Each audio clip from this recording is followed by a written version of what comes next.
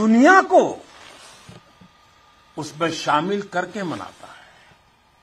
आज कारगिल की इस विजय भूमि से आप सब जवानों के बीच से, मैं सभी देशवासियों को और पूरे विश्व को दीपावली की हार्दिक बधाई देता हूँ।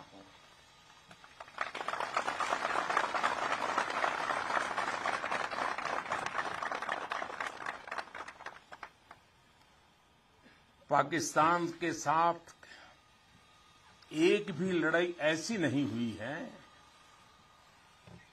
जहाँ कारगिल ने विजय ध्वज न फहराया हो।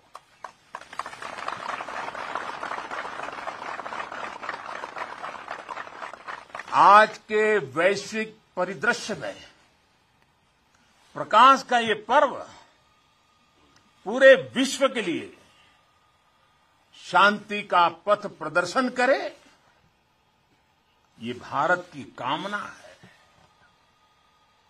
साथियों, दिवाली का अर्थ है आतंक के अंत के साथ उत्सव। आतंक के अंत